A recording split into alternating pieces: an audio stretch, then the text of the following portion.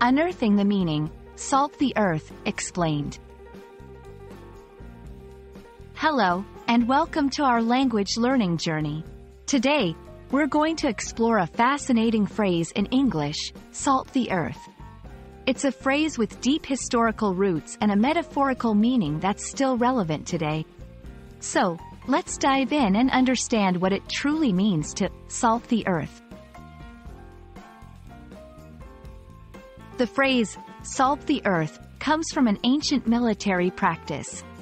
Historically, after conquering a city, the victorious army would spread salt over the land to prevent crops from growing. This was done to ensure that the defeated region could not easily recover and pose a threat again. This practice symbolized a complete and permanent destruction, making the land barren and unusable.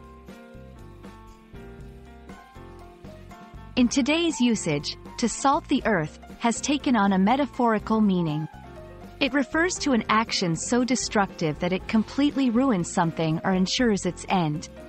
For example, if a company's policies salt the earth, they might damage the company's reputation or finances so badly that it cannot recover.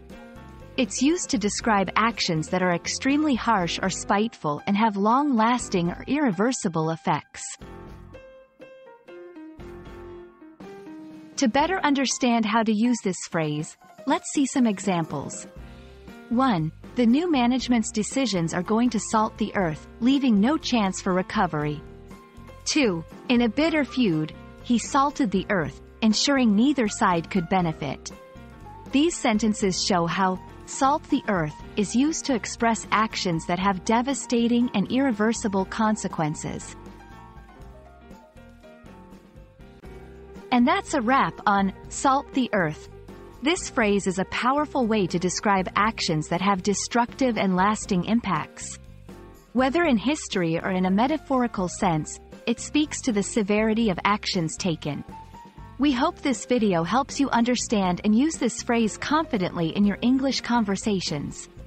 Keep exploring, and see you in our next language adventure.